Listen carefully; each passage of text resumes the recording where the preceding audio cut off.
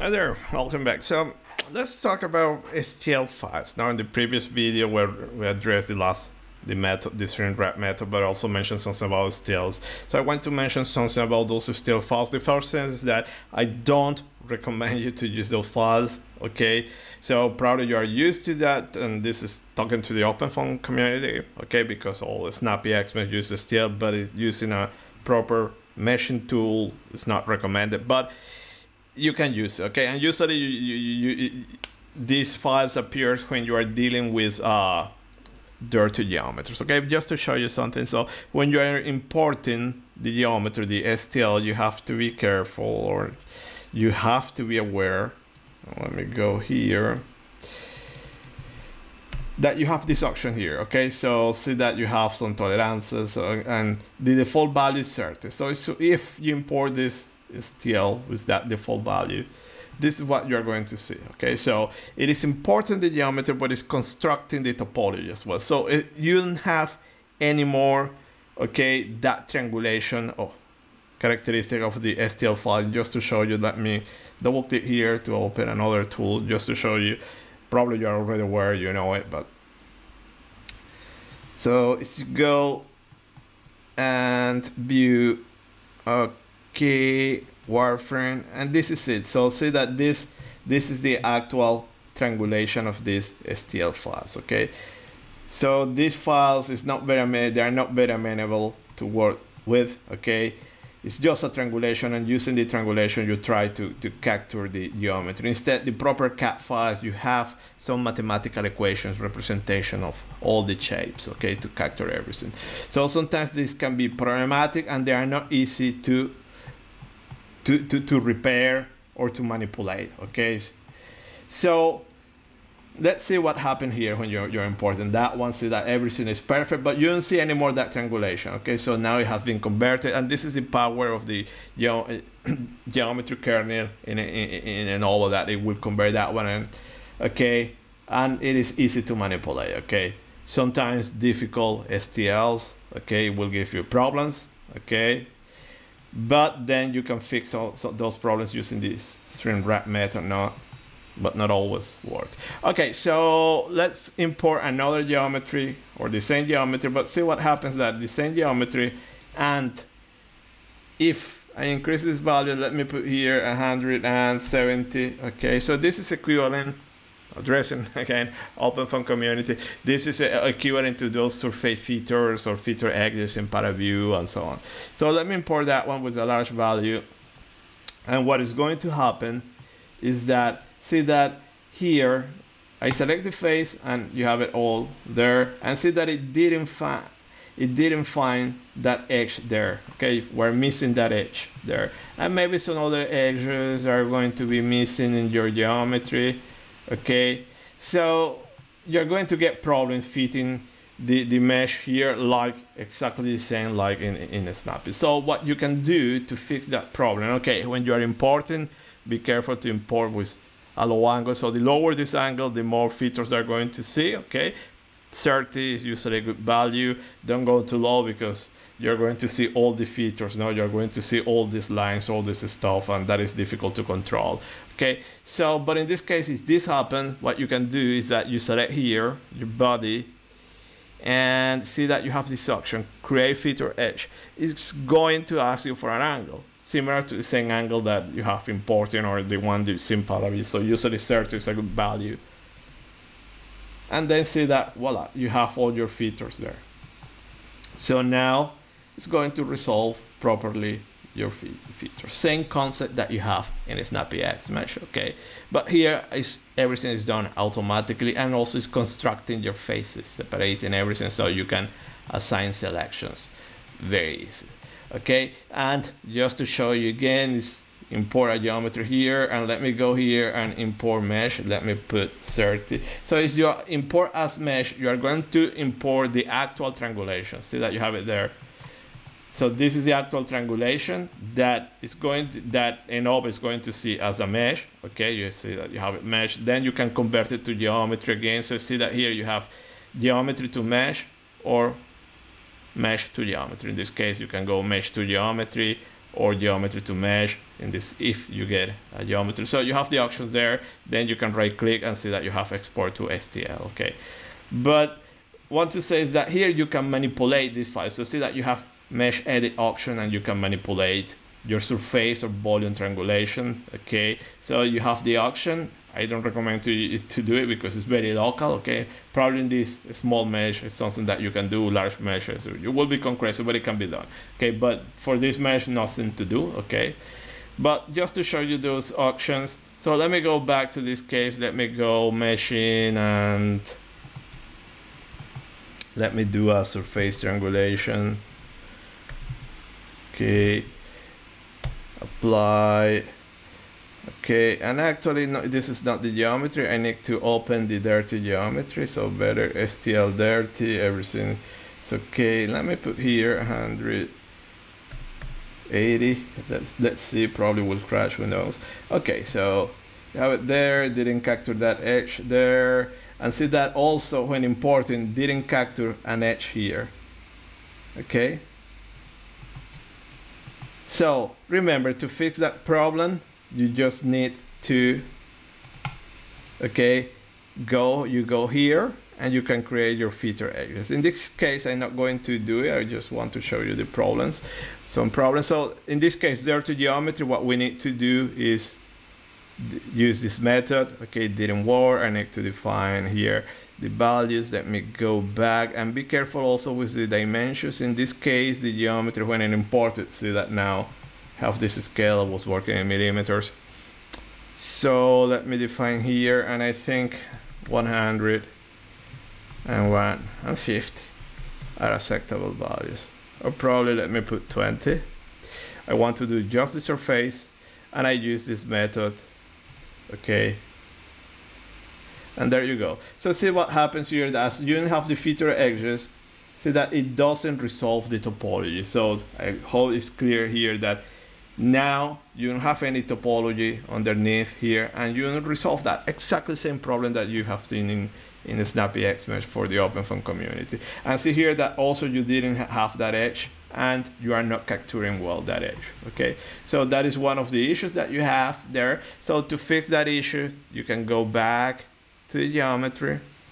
And see that remember here you can extract those feature edges that angle is okay. And see that now you have an angle there. And see here that now you have it also here but it didn't close the loop. So that is telling that probably that angle needs to be reduced. So let me put 30 and there you go. You have all your edges. See that now it has been split automatically? Okay and let me go there and there you go okay so see that now everything is as it should be, resolving those features.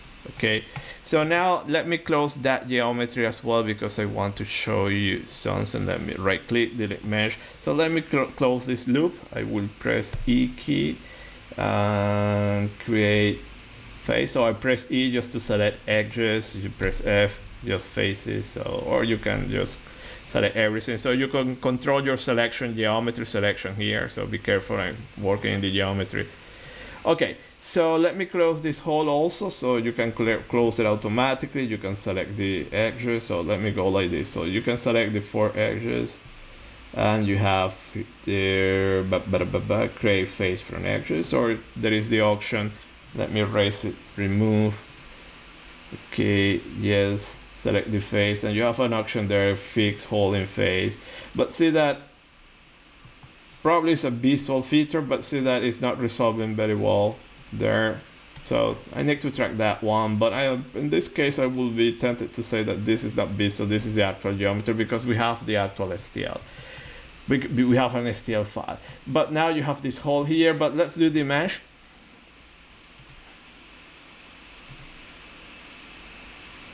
And see that you have it there. So as this method is fault tolerant, okay there is no problem there but out of curiosity okay so I always go off script I don't have an script so let me try now this one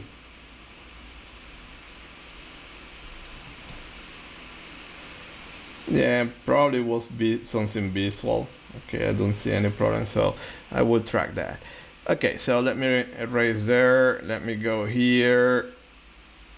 Okay, I have that, and you have this hole here. And how do you close those holes in the STL? So this is cool also because you have some capabilities here that you can manipulate your files in, in, in, your triangulations or your surface meshes in Ennova. You have this, so you have nasty STL, you can manipulate it here. So there are some other tools, okay, in a way you can use Blender or your CAD tool, Fusion 3D, okay. Uh, you used to do that space clones, you can do it, but also in Ennova you have there, you can close holes in your mesh. So let me go here and convert it to a triangulation. And you have there, theoretically, you have a hole there and you just can start selecting faces and try to close there. So see that you have some options that you can okay create mesh project nodes and so on. But in this case i don't want to do it manually but i hope you got the idea. What we want to do it is automatically here okay so previously we work in this. I say that i know uh, that or remember that put a large value here and close that hole. But now how we can do it automatically? So you have some local options for this string wrap method. And see that you have it here. So you have here the get close tolerance. So this is the tolerance. So you say that any gat or hole that is larger than in this case 200 millimeters will be closed. And let me put here refine and I want to use a refining factor of 2 in those holes. So let's see what happens the effect of this. So see that I haven't changed anything but now I'm putting a tolerance in holes and see that automatically the hole was closed. So this is the advantage of this no string wrap method when you have dirty geometries you can put tolerances you have gaps and stuff like that edges and you can resolve that automatically. Okay so let me put a factor of four there and where you have those holes it would try to put more and didn't do it. So now let me triangulate there and you have your triangulation and everything is smooth there everything nice okay? No no biggest no issue so this is the idea and see that you fix automatically holes and so on. Also you have this this hole there you can put a large value there and it will start to close since but you have to be careful. So since that i wanted to show you also for instance you can smooth your mesh repair since. Okay so let me go here and actually let me go and put uh, here because i think i may Okay, it's close. Let me put 100 here. Okay, so we have this. Let me go and put 50. So see that now the surface meshing is independent of the hole. So here you control all the surface and then you put a tolerance there and everything larger than that will be closed automatically.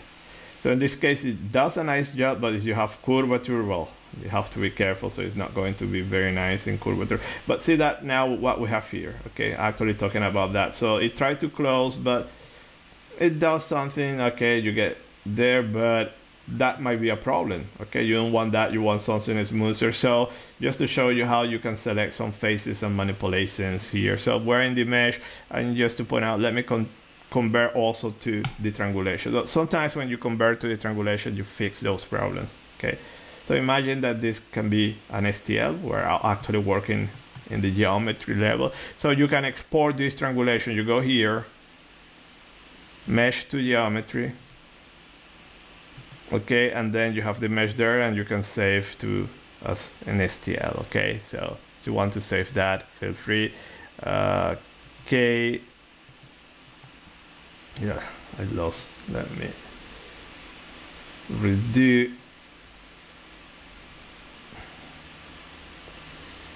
Okay.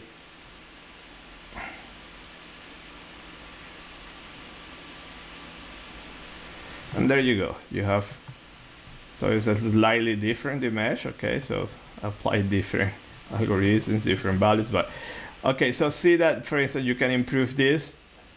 Okay, so you can select faces. So see that now you can do faces selection. So let me press F and you can manually you press control you can select manually like that and then you can apply any of these operations here you have something that makes it easier you can grow like this or make it smaller okay or a little bit So let me select here and grow a little bit there.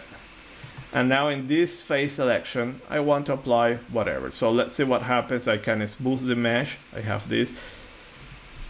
Let me apply 10 and see that clearly you can see that after smoothing it's doing something. Okay, so let me increase again a little bit. Okay, and smooth. And let me do now 100 iterations. So this is a way to do the local mesh smoothing or manipulation. So in this case, I'm doing surface. You can do it also in the volume, but this is tricky. Okay, uh, it's better to have a good meshing tool that it will give you a good mesh the first time. For instance, now you have this here split mesh and see that you make it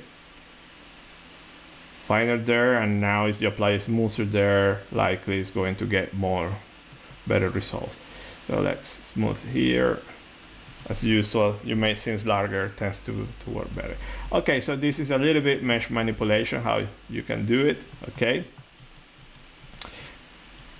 Here well some problems capturing there but also you can do some manipulation trying to fix there. But generally speaking, you see these are the issues, the small issues that probably you are not used to, or probably you are used to, and you say, okay, for me this is fine because I've been working all the time with OpenFOAM and that's what I get. But when you use a proper tool, meshing tool that can see all the topology, this shouldn't happen. Okay, so at this point you can do your mesh. Okay, you can do everything, no biggie there. So let's go and Okay, I have everything there. So let me do the topology based methods. Okay, and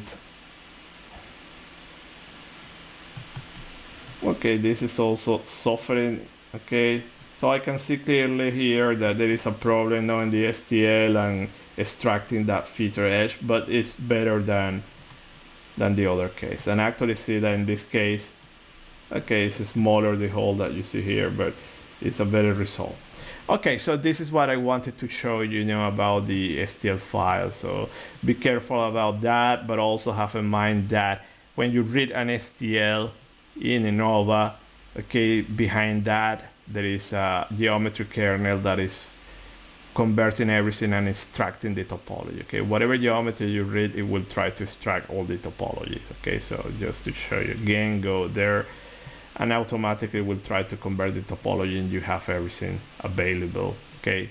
Much better than having no that triangulation. So that's all that i wanted to talk to say about stl in next videos we'll address, we'll address on some other advanced options. See you later. Bye